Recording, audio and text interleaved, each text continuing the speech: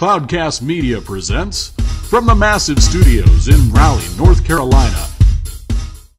Hello, this is Aaron Delp. I want to talk to you today a little bit about Apache CloudStack. What we're going to do is break down the logical architecture. And what we really want to start with here is your hosts. So what is a host? A host can be a bare metal server, or it can be a server containing a hypervisor. Could be um, Xen server, could be KVM, could be vSphere.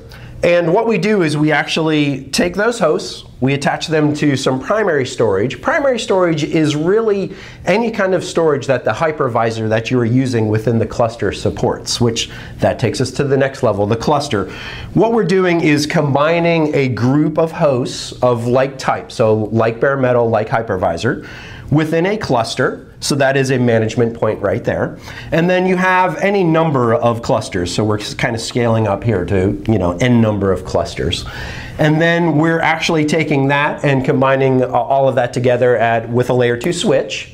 And then we're combining all of that into what we call a pod. So think of a pod really as almost like a rack. Um, and you can really combine them in any way, but typically what is done is, is a rack is a cluster. And then from there, we go up to a layer 3 switch, and you can have multiple pods. So pod 1, pod 2, etc., etc. Now, something that is very different about CloudStack is this concept of secondary storage I have sitting down here. And you notice it's really, it's not listed at a pod level. The reason being is this secondary storage is different from primary storage. As this one only supported really what the hypervisor supports, secondary storage is going to be one of two things. It's going to be NFS based or object storage based. And because of having this object storage in particular, we're able to have this secondary storage actually talk across multiple pods. So you can store images on your secondary server, or you can actually store snapshots of volumes there. So you can actually copy a snapshot from a primary storage to secondary storage, and that image will also be available everywhere.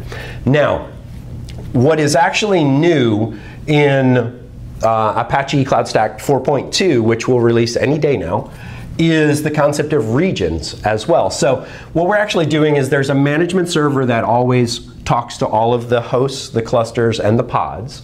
And then what we actually have is a region up here as well. And what a region does allows you to kind of do geographic disbursement of your, if you want to do different data centers with different management servers, allows you for compliance reasons, security region, reasons, or just geographic disbursements for disaster recovery as well.